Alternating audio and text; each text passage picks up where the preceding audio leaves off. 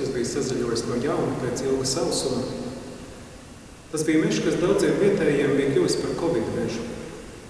Ierobežojuma laikā daudz tur atrada glābiņu staigājot turp un atpakaļ. Ejot pa taciņu, kuras malā auga dažādas zāles, nātras, laikam sazaļojušas, piepieši kaut ko ieraudzīju. Apstājos, sāku skatīties, un tur starp nātrēm, visādām zālēm, nezālēm, dievmātes statuja, krusts, sveces. Kāds tur bija iekārtojis sev altāru, svētvietu, kaut ko tādu.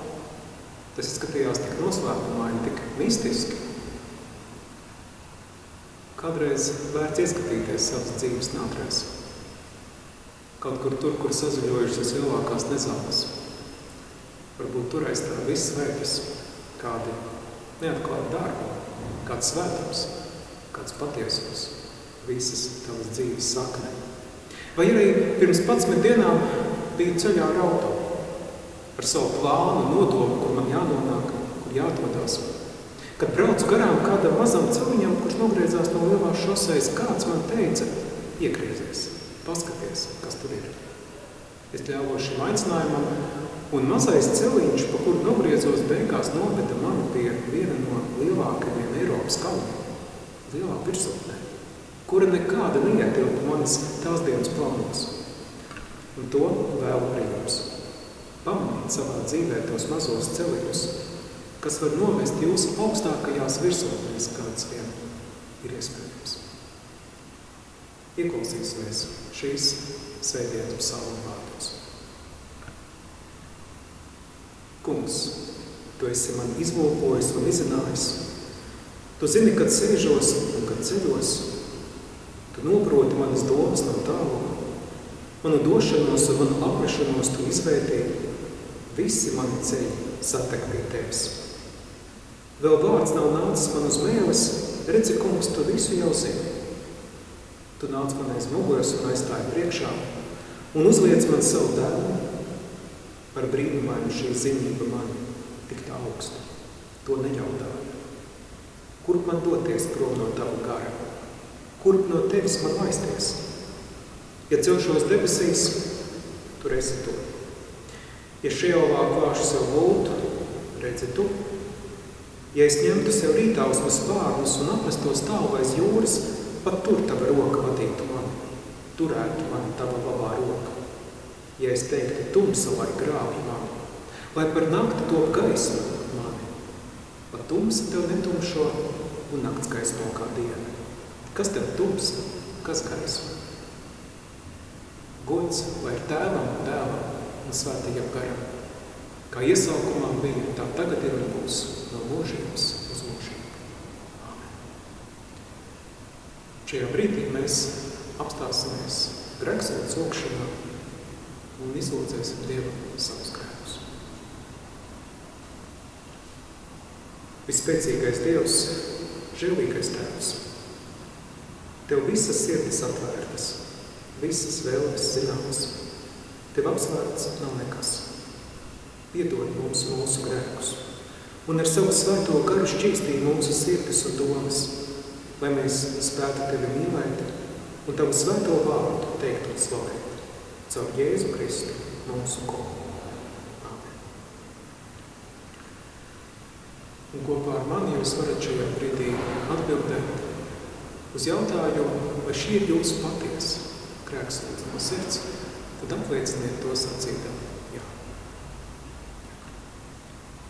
Dievs to ir dzirdējis un uz tādu jūsu apzināšanos un apliecinājumu es pasludinu jums Dievu žēlstību un apliecinu, ka visi jūsu grēki ir piedoti viss jums ir piedots. Tēva un dēla un svētā gara.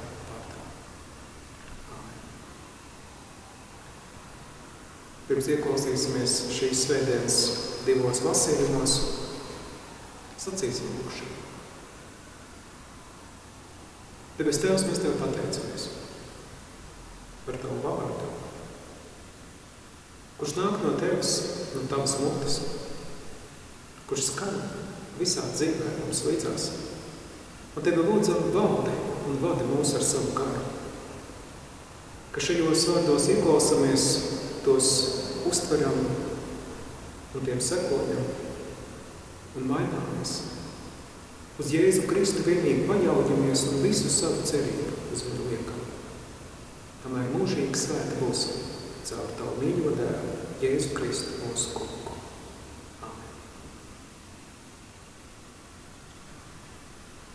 Viens no lasījumiem ir no 5. mūzes grāmatas. Tur ir rakstīts tā. Tu esi svēta tauta kungam savam dievam. Tevi kungs tavs dievs ir izvēlējies no visām tautām, kas uz zemes, lai tu viņām būtu īpaša tauta. Kungs jūs ir iemīlējis un izvēlējies ne tādēļ, ka jūs būtu vairāk par citām tautām, jūs esat mazākā no visām tautām, bet gan tādēļ, ka kungs jūs mīl un tur savu zvērestu, ko devis jūsu tēviem, un kungs izveda jūs ar stipru roku un izpirka jūs no vergu nama no Ēģiptes pie viņa faraona varas. Un zini, ka kungs, tavs dievs, ir uzticams dievs, kas uz tūkstošu paudzēm tur savu derību un žēlstību tiem, kas viņu mīl, un tur viņu paužas, bet atmaksā tiem, kas viņu mīst, tieši viņiem un izdevnē tos. Viņš nedocināsies tam, kas viņu mīst, viņš atmaksās. Ievēro paušļus, likumus un tiesas, ko es tev šodien pavēlu, un pildi tos. Un būs tā, ja jūs paklausīsiet šīm tiesām, ja ievērosiet un pildīsiet tās, tad kungs tavs Dievs turēs šo derību žēlstību, kā viņš zvērēs taviem tēviem, mīlēs tevi, svētīs tevi un vairos tevi. Viņš sveitīs tavas miesas augļus un tavas zemes augļus, labību, vīnu, eļu, tavu vēršu, navju, baismību tajā zemē, par kuru viņš taviem tēviem zvērējis, kad dos to tev. Tā kunga vārds. Un otrs lasījums no apastuļu darba grāmatas 8. nodaļas. Bet kunga eņģēlis uzrunāja Filipu un sacījums. Celies un ej uz dienvidiem, pa ceļu, kas ved no Jeruzālēmas uz Gazu. Tur ir tūkstnesis. Viņš cēlās un gāja. Un redzi, tur bija kāds vīrs, etiopietis, Etiopijas ķēniņienes kandakas varēts augstmāns, viņas mantnīcas pārzins, kas bija nācis uz Jeruzālēmu pielūgt Dievu. Nu, viņš bija atceļā sēdēja savos ratos un lasīja pravieti Iesai. Tad gars sacīja Filipam, Ej klāt un turies līdzi šiem ratiem. Pieskrējis klāt Filips, dzirdēja viņu lasām pravieti Jesai un jautāja, vai tur es saprotu, ko tu lasi? Tas atbildēja, kā gan es to varētu, ja neviens man nepaskaidrotu. Un viņš uzaicināja Filipu iekāpt un apsēsties sev līdzās. Bet vieta, ko viņš rakstos lasīja, bija šī. Viņš ir kā avs, ko ved uz kaušanu, kā jērs, cirvē priekšā kluss, un viņš neatver savu muti. Viņa pazemošanās dēļ taisnīga tiesa viņam likta, kas izskaidros viņa paudzi, jo viņa dzīvība tiek paņemta prom no zemes. Ķēniņiens augstmans Filipam jautāja, saki lūdzams, par ko pravietis te runā? Par sevi vai par kādu citu? Tad Filips ar šo rakstu vietu sākdams pasludāja viņam evaņģēlību par Jēzu. Turpinot braukt pa ceļu, tie nonāca pie ūdens un augstmans sacīja, redz, kur ūdens? Kas gan kavē mani, lai es tiktu kristīts? Tad Filips viņam atbildēja, ja tu no visas sirds tici, tad vari. Tas teica, es ticu, ka Jēzus Kristus ir Dieva dēls. Tad viņš lika apturēt ratus un viņa abi, Filips un augstmans iekāp ūdenī un Filips viņu kristīja. Kad viņi iznāca no ūdens, Kunga gars aizrāva Filipu prom, un augstmanis viņu vairs neredzēja. Viņš līksms turpināja savu ceļu. Tā kunga vārds. Apliecināsim arī mēs savu ticību.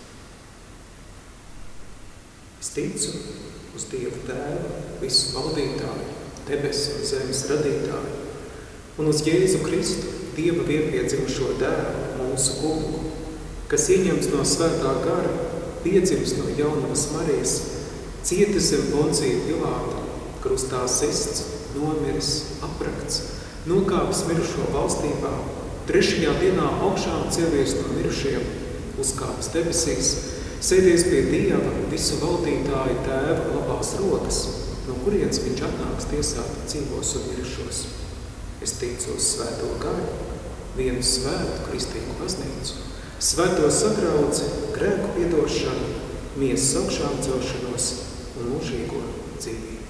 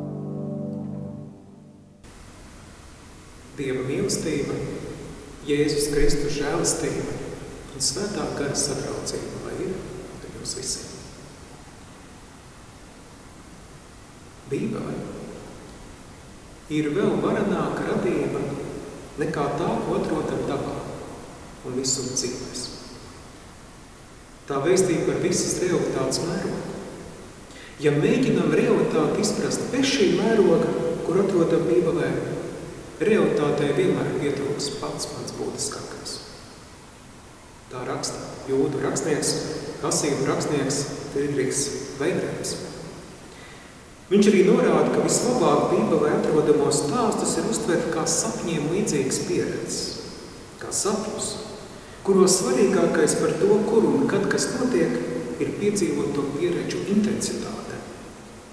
Tieši pieredzes intensitāte atrodas Bībeles stāstu epicentrā, nevis vēsturiskās vai geogrāfiskās nianses.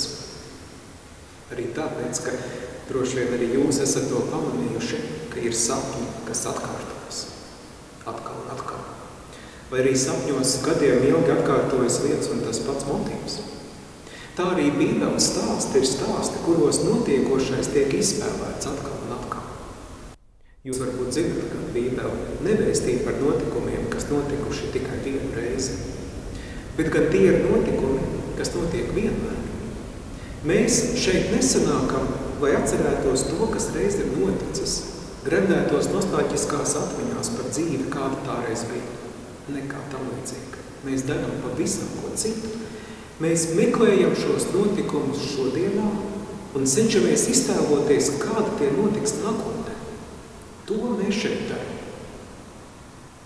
Bībeles notikumi notiek nepārtraukti, tikai mēs tos nemanām.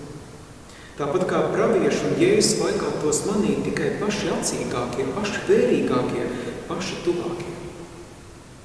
Bībeles notikumi ir kā tā dievmāta statuma nātrais vai tas mazais celiņš, kuram viegli paskriet garām. Tāpēc arī Bībele vienmēr svēta un mūžīga, jo tā katru dienu Katru mīlu brīdi šodienā ir dzīva. Mēs nākam kopā tādā vai citādā veidā, klātienē vai attālināti, lai mācītos šos notikumus meklēt un atrast. Citādi Bībele būtu tikai viena no daudzām interesantām grāmatām, kāda pasaulē pazuds. Bet Bībele ir kā dzīve, kas vienmēr notiek pie mums atpūst. Kā radība, kas izteikti vārdos radība, kas balstās būtiskākajā. Bībele stāsta kā sapņi, kas atkārtojas. Nu ko, šī ir jau trešā reize pēc kārtas, kad esmu atkal apstājies pie Jēzus līdzībām par pazudušajiem un atrastajiem. Atcerieties šīs līdzības no iepriekšējām reizēm par monētu, par ābu, par dēvu. Atkal šodien pie tām apstāsimies mazliet. Pirms dosimies tālāk, atstājot tās mierā uz kādu ilgāku laiku. Ko jau vēl varam šajās līdzībās ieraudzīt? Manuprāt, līdzībā par pazudušo monētu mēs redzam vēl kādus divus aspektus. Vispirms atcerieties, ka iniciatīva monētas meklēšanā pilnībā ir tās sievas rokās, kas to meklē. Monēta ir kaut kur paripojusi un tagad tā nekustīgi guļ. Dievs, ko līdzībā simbolizē šī sieviete, ir tas, kurš meklē pazudušo, kurš pats neko nevar no sevis izdarīt vai tiktu atrasts. Cilvēks kā tāda monēta, kas kaut kur vienkārši guļ, līdz to atrod. Monēta nevar celties, rīpot, iet savam glābējam pretī. Cilvēks neko nevar izdarīt vai tikt glābts. No vienas puses tā ir brīnišķīga sieva. Mums neko nevajag darīt. Un mēs neko arī nevaram darīt. Tas ir tīrais evaņģēlijs. Un tomēr mūsdienu cilvēkā šīs ziņas atceļ nelielu vētru, kā tā nevajag neko darīt. Nu, kas mēs kaut kādu priekšmetu, kurus pazaudējam, tad ko atrod. Bet nezaudēsim līdzības fokusu.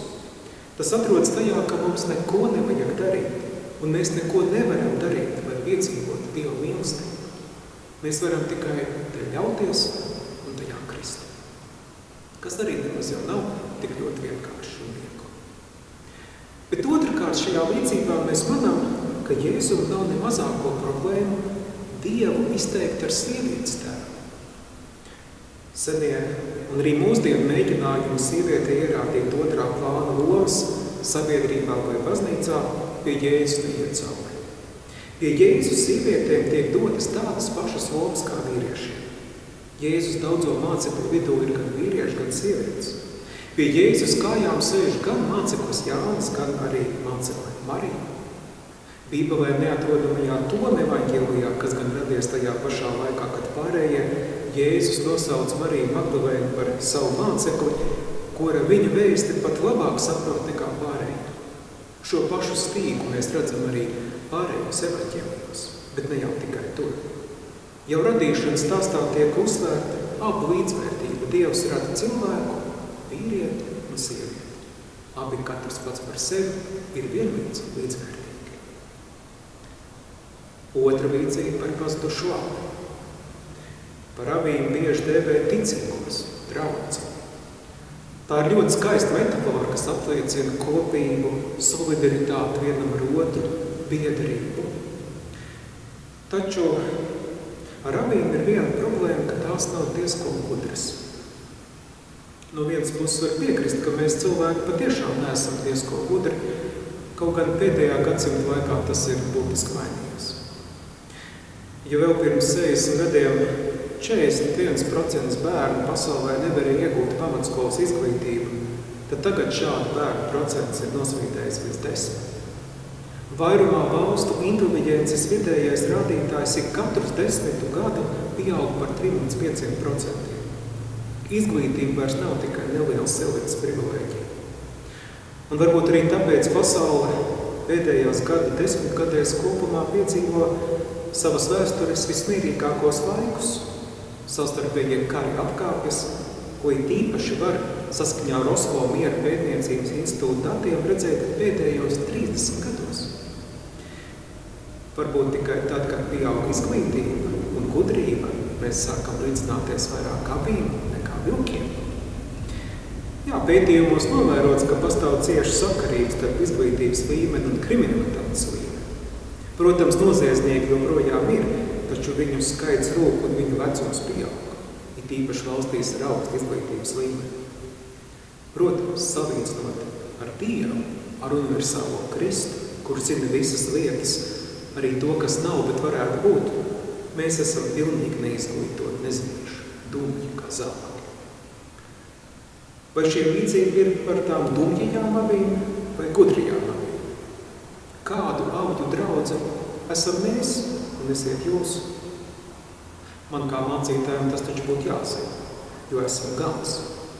Latīņu valodā gans nāk no vārda pastors, pastori. Latviešu valodā gan šo vārdu nelieto, mēs sakam mācītājs.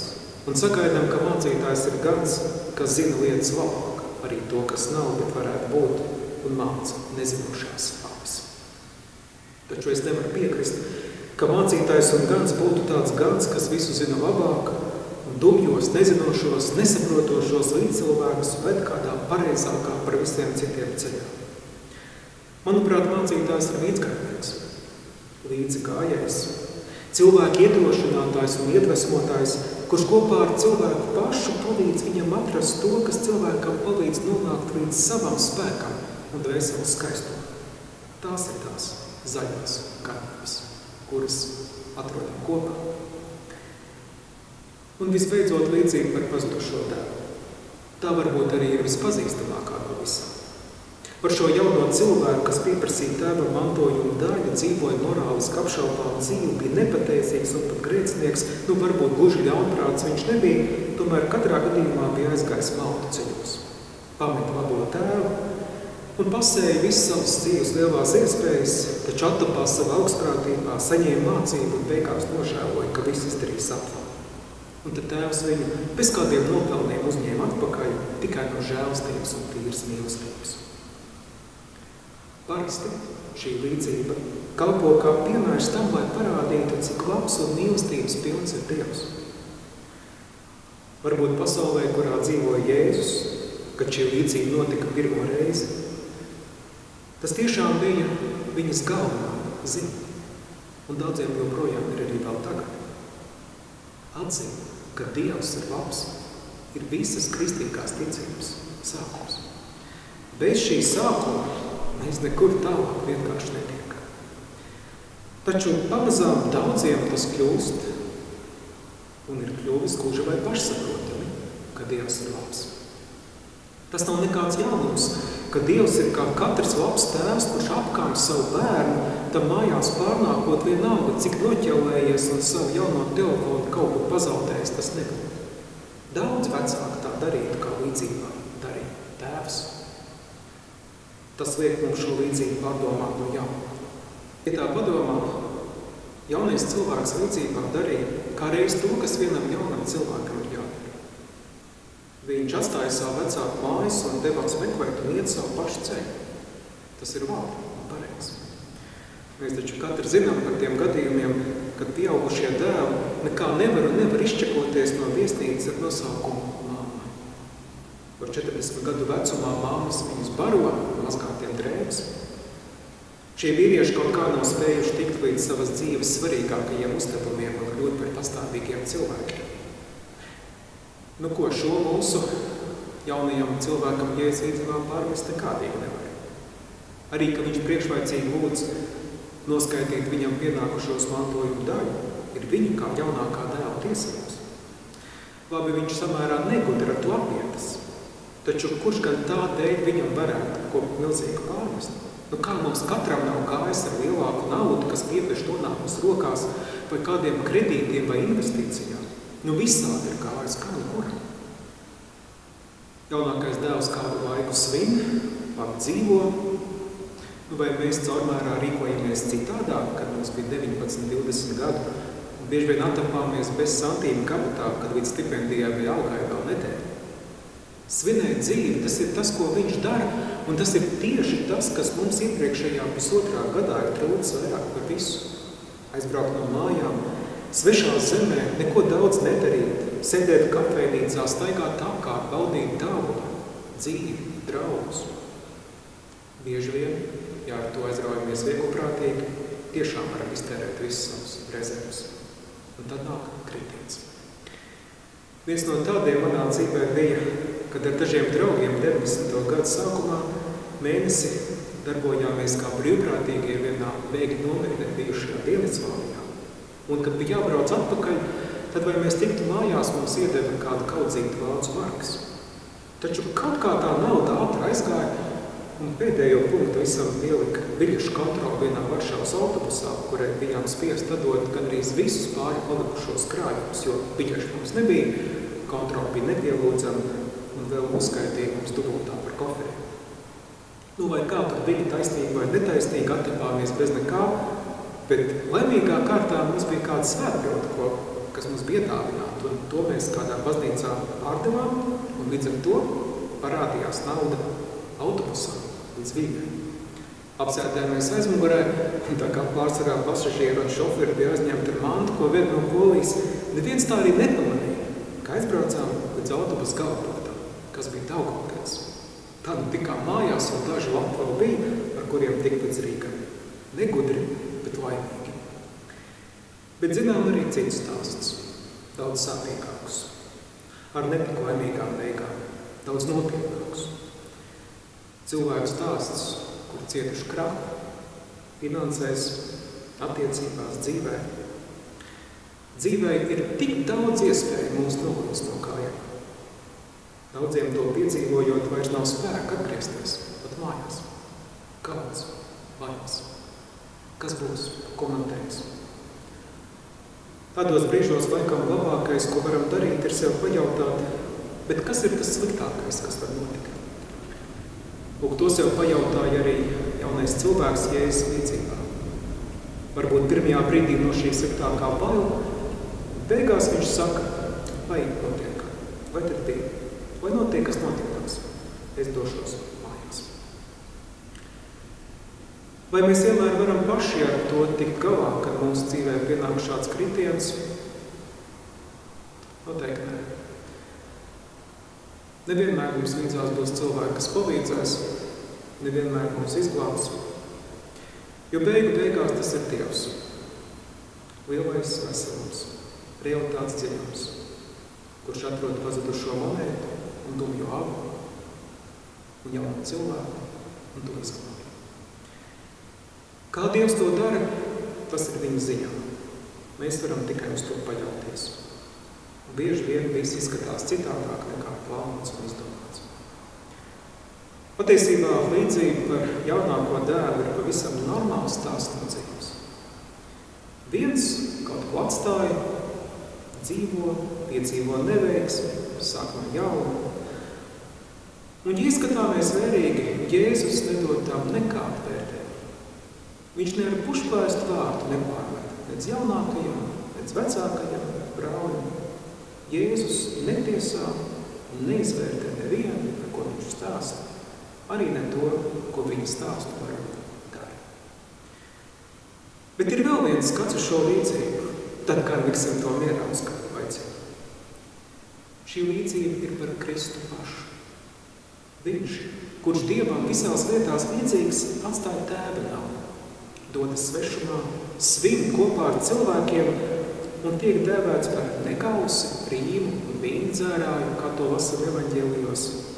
Viņš izsēja daudz teikt negudri Dieva mantojumu, viņa mīlestību, daļā to pa labi, pa kreisi, visiem uzsauc, visiem dod, sevi pazem, kā Pāvils saka.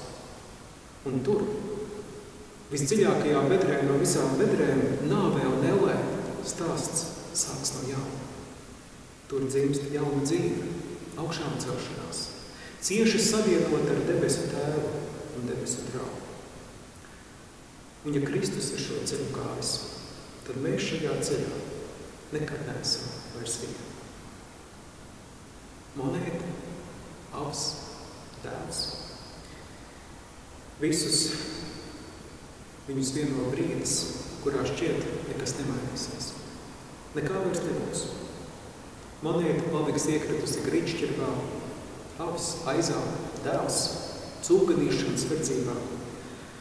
Visas trīs līdzības ir par jaunu apvāršanu, horizonta, jaunu durvju pavēršanos, ka ir iespējams citādāk, ka viss var mainīties, ka viss var būt citādāk, savādāk.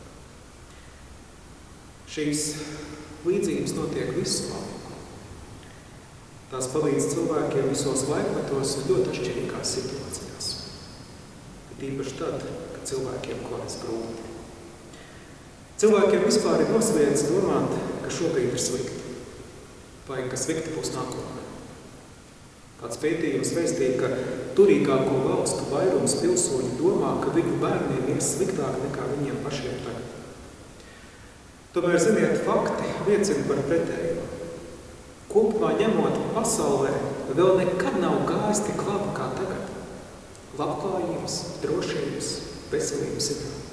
Protams, vēl ir, ir uz ko tiekties, par to nav mazāko šaubu, bet mums ir jāapzinās, ka arī mēs, mūsu patumkrātos, kā sabiedrība un valsts, šajā ziņā atrodamies vairāk pie grafika pēdējās trešdaļas, augstākās trešdaļas. Katrā ziņā viduslaiku utopija par zemi, par nākotni, kas atnāks, kurā piens un medus tecēs un no debesīm kritīs cepts pīls, tas vairs nav gluži tas, par ko sapņo cilvēku vairākums. Senais sapnis par kaut kādu pārpilnību sevi, uz kur Dievs mūs ved, zaudē savu pievilcību, jo tā dzīve jau tāda ir tagad, ļoti līdzīga. Ne, nu skaidrs varētu jau mazliet labāk, vairāk, būt lielāka auga, vai vairs nav jāīrē dzīvoklis, nopirkt māju, varētu vēl attīstīties, taču stāsts nav par to. Jo redziet, Jēzus līdzības nav tikai par to brīdi, kad jūties kā bedrē. Tās ir par to, vai tev ir sapnis, uz ko tiekties. Vai tev ir kā dēļ mosties no rīta augšā, celties un iet?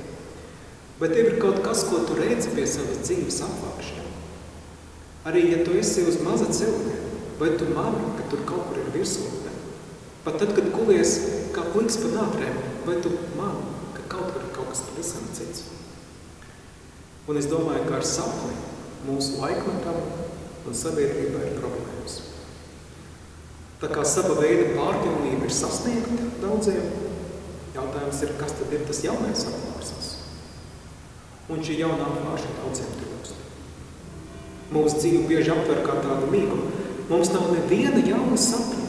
Mēs nespējam iztēloties īpaši labāku pasauli kā to, kurā mēs dzīvojam. Nu labi, mēs aizbraucam uz Vāciju, aizbraucam uz Šveici, varbūt kāds aizbrauc uz Kataru vai apvienotajiem Emirātiem un sakām, lūk, tā pie mums kādreiz būs. Tas ir viss. Tas ir mūsu sapnis. Manuprāt, mūsu laika patiesākā problēma, mūsu paudzes problēma, ir nevis tā, ka mums iet slikti, vai ka nākotnē mums iet sliktāk, bet tas, ka mēs nespējam iztēloties neko labāku par to, kas ir tagad. Man ir nojauta, ka tieši šī sapņa, šīs jaunās utopijas, šo jauno duruņu uztaustīšanu, kas atvērtu un pamodinātu mūsu garu, apziņu, dvēseli un dzīvi, varbūt arī ir mūsu laika uzdevums baznīcā un reliģijā vispār. Iezīmēt šī laika dieva valstība mūsu pasaules kartās.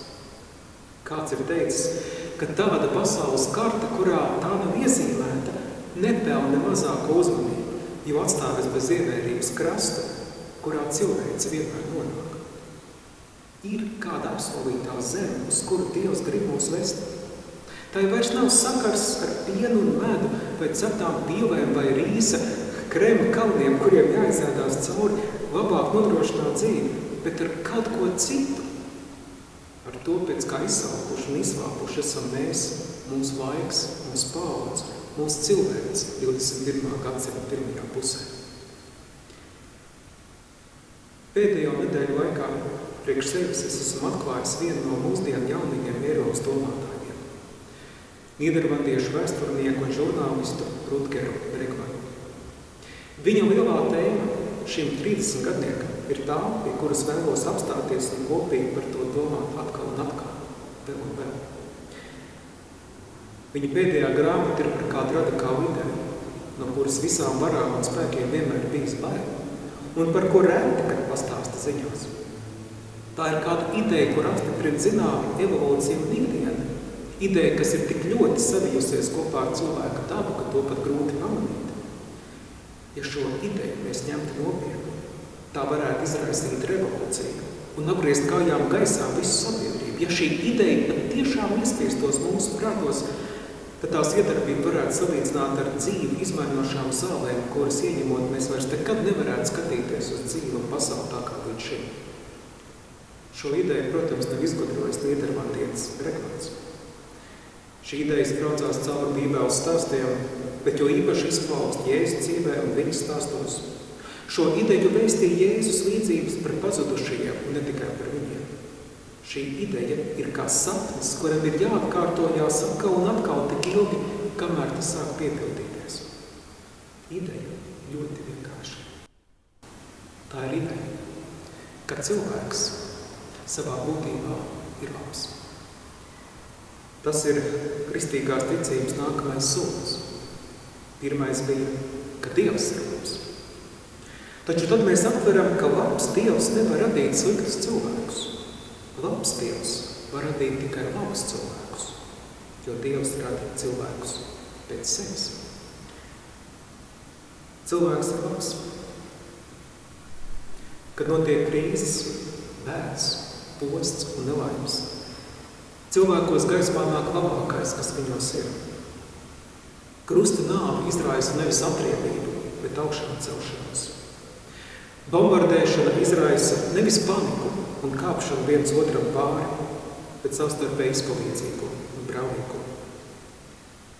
Nekas nav ietekmējis pasauli tik ļoti, kā tas, kā izprotam sevi un citus. Kā būtu, ja mēs no jauna pārdomātu, kas ir cilvēks? Stiprā ticība un pamats, ka Dievs ir labs, liek spērt šo nākamo soli. Tā varētu būt ticība, kas pārceļ kalnus un maina pasauli. Ticība, ka cilvēks savā būtībā ir labs. Varbūt tāda zeme, kurā tam tic, ir arī mūsu apsolītā zeme, tā, kur mums apsolīta. apvārstas, kas atklājas mūsu priekšā, izgaistot viņu.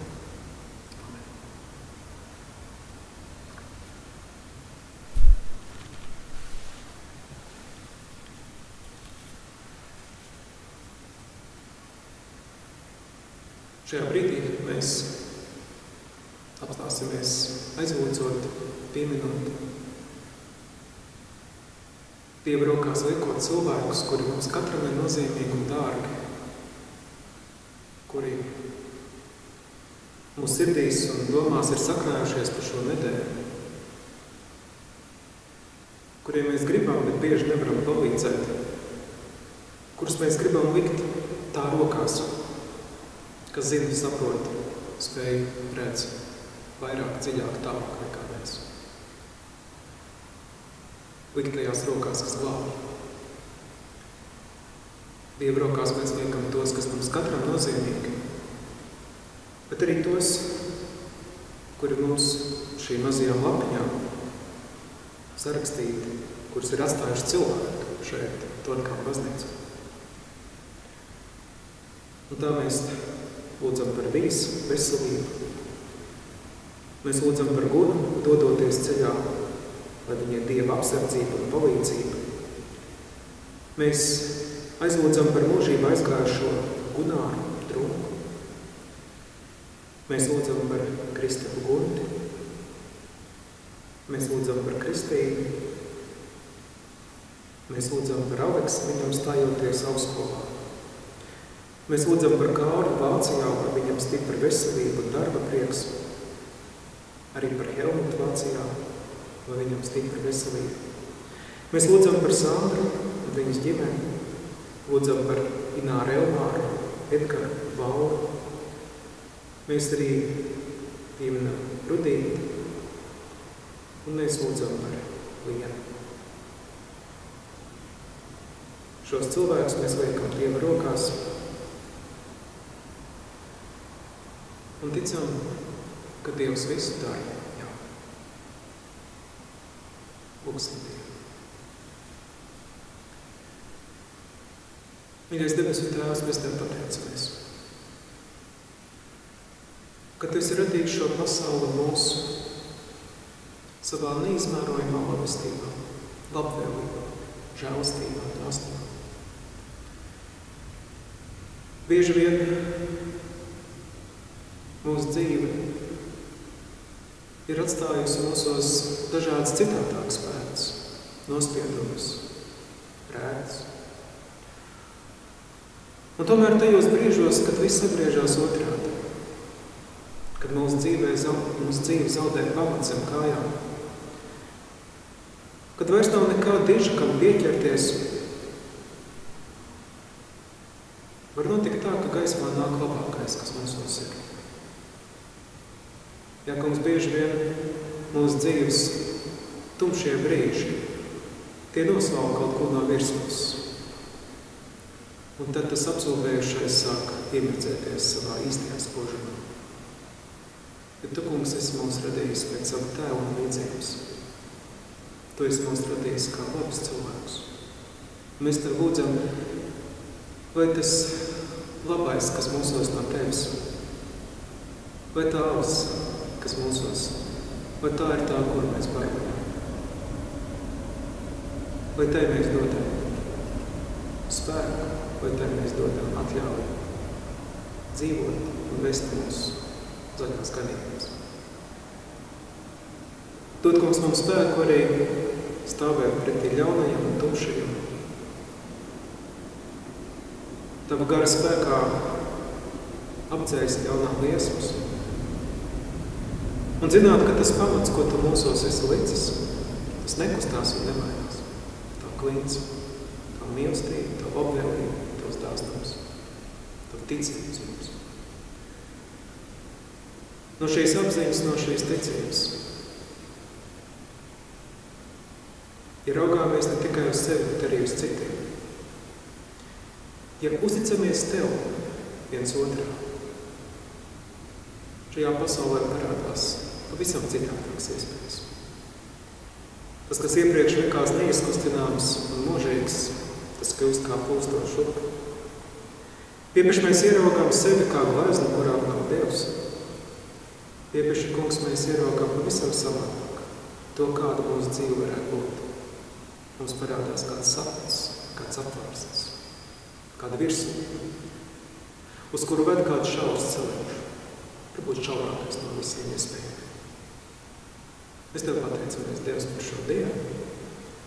Tu redzi visas lietas, Ļauj mums, kungs, redzēt, cik daudz mums ir dots. Ļauj to mums nepaturēt pie sevis, bet dalīties. Bet tajā, kas mums ir ārēji, bet tajā, kas mums ir iekšā. Ļaut piedzīvot citiem mūsu pieredzes, jo mēs visi kopā esam tavs nams. Mēs esam kā tādā apkā, kurā tu, kungs, esi. Sūdens tās trauma, tas gars, tas salūts. Tavās rokās liekam visas lietas, aizlūdzam par Lutera draudz šeit Torkalnā, bet arī par visām citām draudzēm, baznīcām šajā pasaulē, kurai mēs katrs kādiem piederam vai nepiederam nevienai. Mēs lūdzam, kungs, par visiem tiem ceļiem un veidiem. Kā tu, kungs, nāc pie mums, pie katra cilvēka šajā pasaulē. Viss lietas liekam tavās rokās ar tiem vārdiem, kurus tu pats mums esi mācījis. Mūsu Tēvs debesīs, svētīts vai top tavs vārds, vai nāk tava valstība, tavs prāts vai notiek, kā debesīs, tā arī ir sevis. Mūsu dienšķo maizi dod mums šodien, un piedod mums mūsu parādus, kā arī mēs piedodam saviem parādniekiem. Un neieved mūsu kārdināšanā, bet atpestī mūs no ļauna jo Tev pieder valstība, spēks un gods mūžīgi mūžos. Tas kungs Tevi svētī un Tevi pasargā. Tas kungs apgaismo savu laiku pār Tevi un ir Tev žēlīgs. Tas kungs paceļ savu laiku uz Tevi un dod Tev mieru. Tagad. Amen.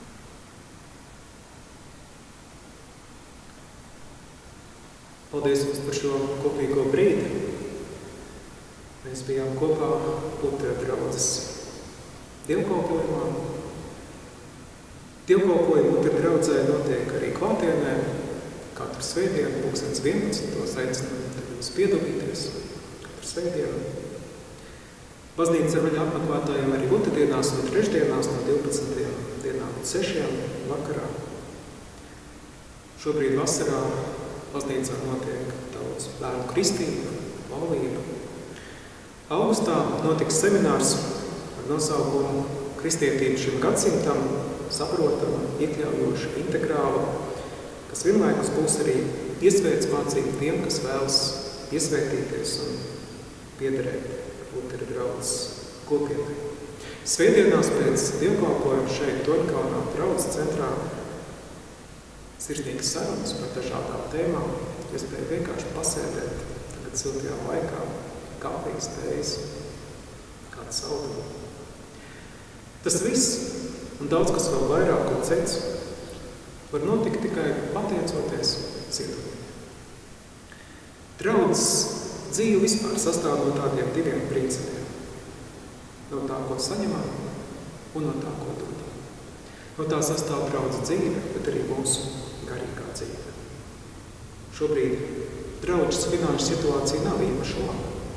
Tāpēc sirsnīgi aicinām jūs atbalstīt Lutera draudz ar saviem ziedojumiem. Jo tikai no tiem mēs šeit Tvarkalnā dzīvojam un varam darboties. Paldies jums visiem un katram, un vai jums ir laba šī diena, šī ir svētdiena, kad to skatāties. Viss šī nedēļa un vispār, lai jums dzīvē viss ir